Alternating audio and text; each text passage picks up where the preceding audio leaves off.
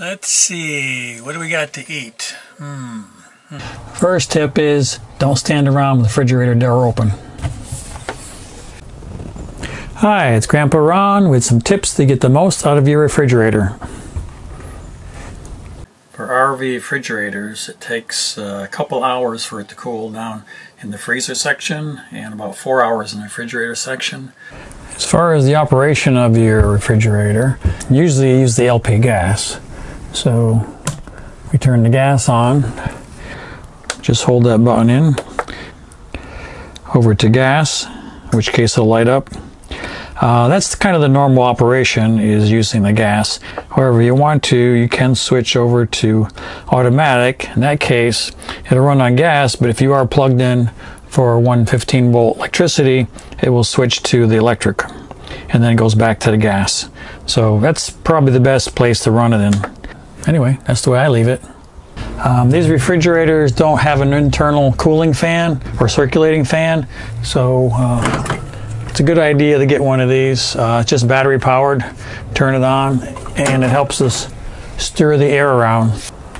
Another tip for you when you're storing or not using your RV is on these Norcolds. There's a little tab here. If you pull this out, so we just pop that right up into there and they stay open. They won't bang around and you won't get the mildew. You will want to monitor the temperature of your refrigerator and freezer. Um, I actually made these custom thermocouples um, but you can buy some wireless ones on Amazon and they work pretty well too.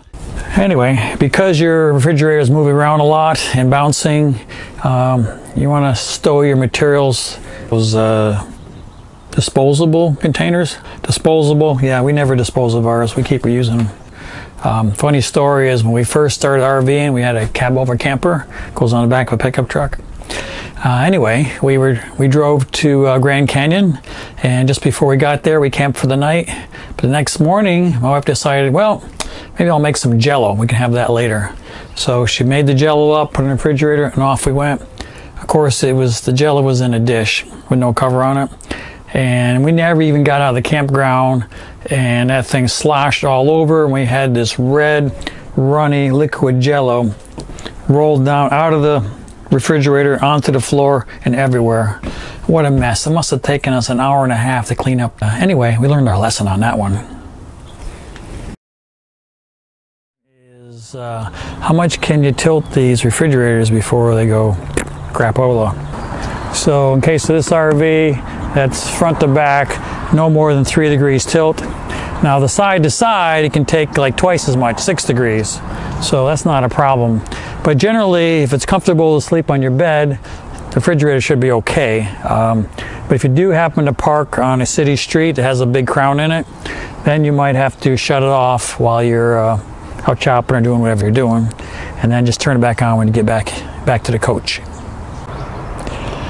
It's really sunny out today.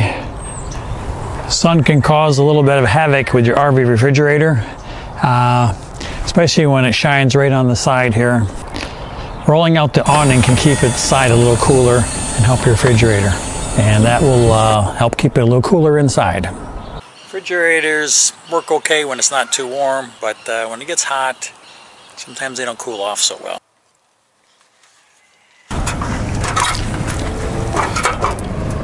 I can feel the heat coming out of it. Oh, it's almost 100, it's over 100 degrees over on this side.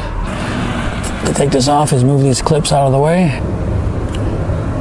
There's the shelf here. Down here, these are the uh, cooling coils. This shelf is kind of keeping the heat from coming out. The big problem is the shelf. It kind of blocks the heat, keeps the uh, keeps the full opening from being utilized. So I'm to have to remove that.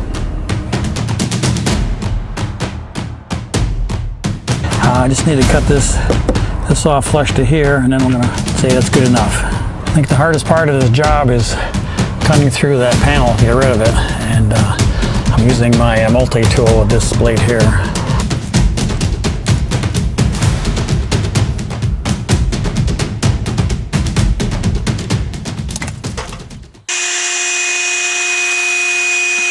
A couple of cross members here to hold these wires back.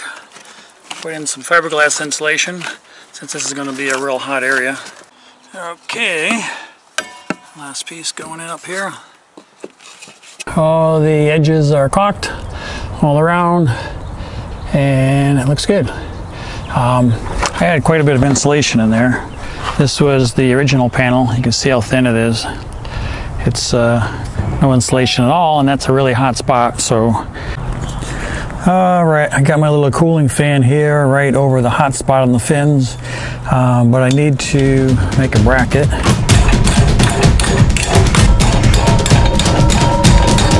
I have basically a Z bracket, uh, so I got the fan bolted on my bracket here, and uh, I'll see if she fits. Okay, that looks pretty sturdy. Fan's not actually touching the coil. So I think we're uh, good to go. Okay, she's running like a champ. And much cooler than the 134 that we had before. Time to sign off for RV refrigerator tips and modifications. This is Grandpa Ron. See you on the road. If you want to subscribe, click my little picture there. I think it's over that way. And uh, otherwise,